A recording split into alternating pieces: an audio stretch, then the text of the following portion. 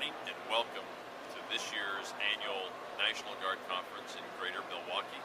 It is host to National Guard soldiers globally from around the world and across the United States and all of our states and territories.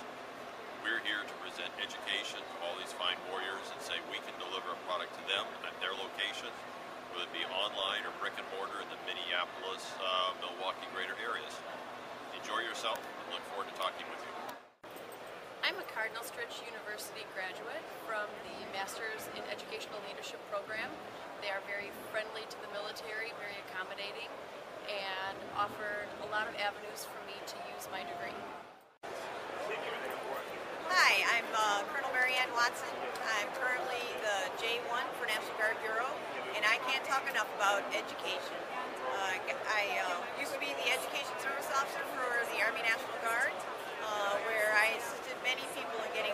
baccalaureate master's degree.